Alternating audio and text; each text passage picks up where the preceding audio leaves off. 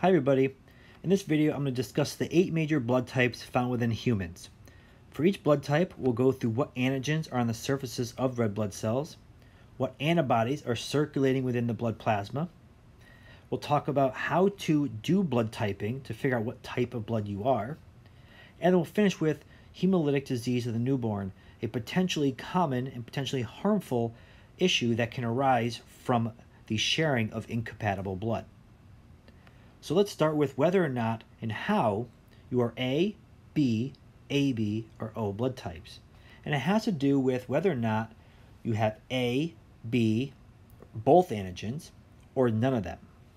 So if you have A antigens on your cells, then you are blood type A. Now if you're AB, you will have A as well. If you are blood type B, you will have B antigens. And if you have AB blood, then you will have B antigens as well. Now, if you're O, you're not going to have A or B. Now, what comes after this is going to determine whether or not you are positive or negative, and it has to do with the presence or absence of rhesus factor, a the name that comes from the rhesus monkey in which it was discovered, a not too distant relative of our own species. Now, if you are a positive, then you will have rhesus factor on your cells. So that could be A positive, B positive, AB positive, or O positive. If you do not have rhesus factor, then you are going to be classified as negative. So here we have our eight major blood types. A, B, AB, O, positive, and the negative counterparts. Now, what's going to determine the difference between A versus B antigens. How are they actually different? So for this, you have to look at the type of monosaccharides or simple sugars that are attached to the proteins within that blood cell membrane. So all these blood types will have cells with proteins on them, on the membranes. And then it's all going to be about the variability in monosaccharides attached. What types and how many? So we'll start with galactose. Now type A will have a single galactose, abbreviated as G. Type B will have two galactoses. AB will have a total of three because you take the one from A and two plus two from B.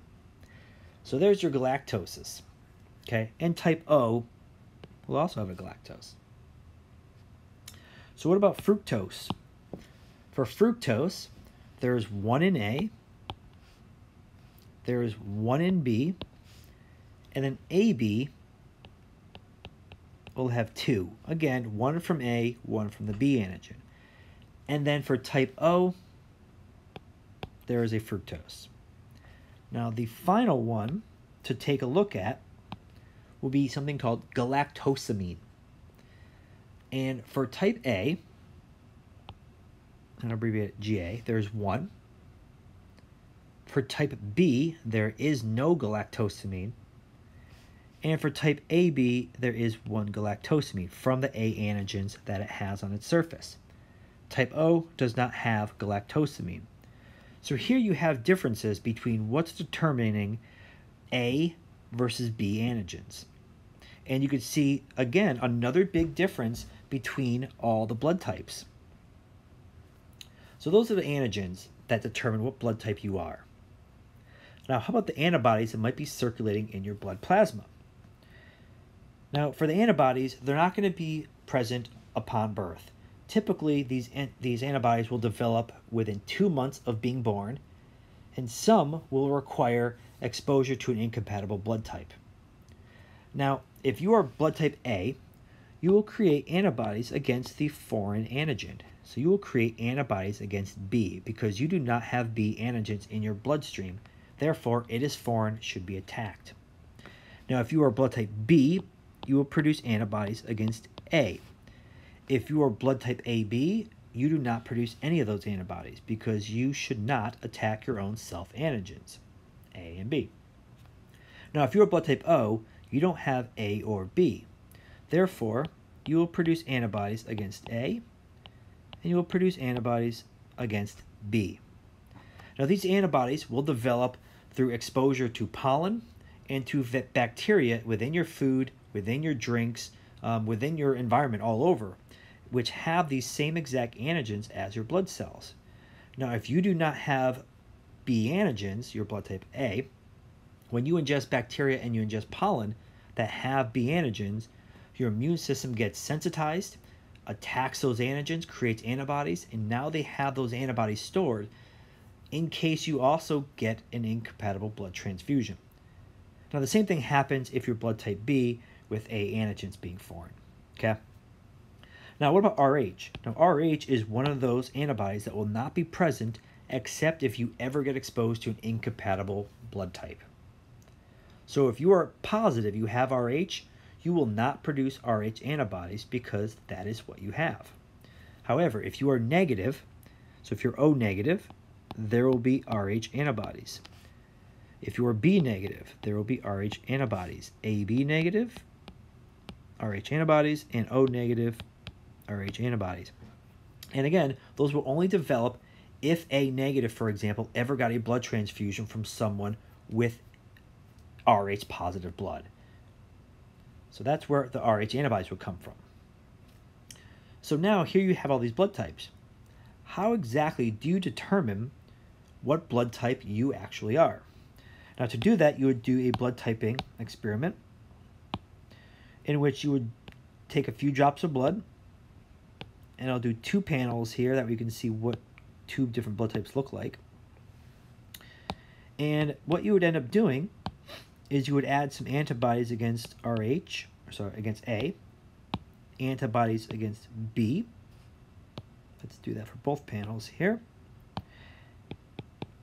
And you would add antibodies against RH. Now, if you were O negative, meaning you do not have any antigens on your blood cells for A, B, or RH, then it would look like the panel on the left, but also the panel on the right.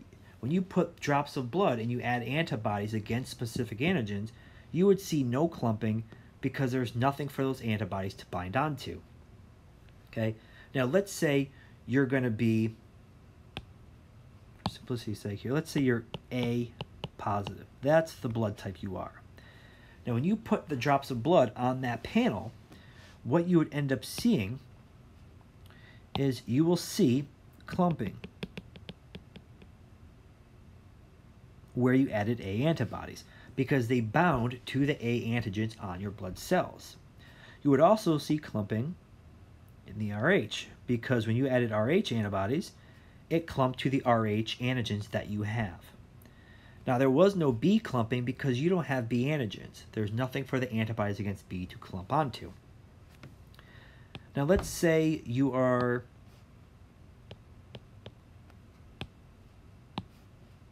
AB positive. What would you see? Well, you would certainly see clumping in A because there's A antigens for A antibodies to bind to. You would see clumping for B. And you would see clumping for RH. Because anytime you add those antibodies, there's antigens there for those antibodies to bind onto. So there we have it. That's how you would blood type. You're basically using the information that you know as far as what antigens are present on the blood cells and what antibodies will bind to those antigens. You use that information to do these blood panels for blood typing. Okay, so let's finish up here with hemolytic disease of the newborn. And the basis is going to revolve around the presence and absence of Rh factor on blood cells. Now, in order for this potentially destructive disease to occur, the female in red here needs to be Rh negative. And she would need to breed with an Rh positive father. So we're going to show breeding there with a plus sign. So they breed and they produce an offspring that's growing within the, the mother. Now, the offspring's Rh or Rh negative status will be determined by the father. So if the father is Rh negative, then baby will be Rh negative. And here, if baby was Rh negative, there would be no complications at all because mom is a like status. She is also Rh negative. The problem arises here when mom, who is Rh negative, breeds with an Rh positive male. Baby now, there's baby, is Rh positive. Now that is going to be foreign. So mom's immune system here, now keep in mind that maternal blood supply and fetal blood supply are exchanged. So they come in contact. So in other words, the immune cells circulating within the maternal blood supply will come in contact with this growing fetus and the developing cells that have Rh on them, which is foreign. So as the fetus develops, the mom, her immune system, will start to ramp up all of these anti-Rh antibodies against this Rh positive baby, which is foreign. She doesn't have Rh. That's weird. Get it out of here. Now, fortunately, baby one will be born before the antibody response gets extreme enough to cause any harm. But now what you have here is you have the maternal immune system that has all these antibodies against Rh that can be easily produced if ever exposed again to that potential quote unquote pathogen that is growing inside her. So if they were to ever have another child, child would be Rh positive because dad was Rh positive. Mom has all these antibodies that can be produced quickly, which will then attack the developing fetus and developing erythrocytes and other cells within that, that developing offspring. Therefore, what you end up having here is this massive immune response against this developing fetus, which can cause a multitude of effects such as mental disabilities, mental disorders, to other developmental disabilities and disorders, even even death, right? So this is a major problem, but fortunately, what can what can happen here is that the, the mother can get screened for this potential problem that could occur. And if she is found to be Rh negative and dad is found to be Rh positive, mother can take something called RhoGAM, which is essentially an antibody against Rh antibodies. And what RhoGAM will do is it will go and bind to all these Rh antibodies that mom can produce, inactivate them, in other words, kind of just take them out of the story there, so that way the Rh babies growing inside the mother can be born without being attacked by her immune system, and then you will get happy, healthy babies being born.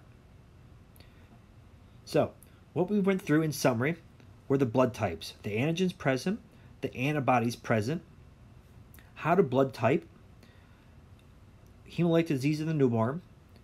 And the last thing that you should be able to do with this information is figure out who can donate blood to who and who can receive blood from who.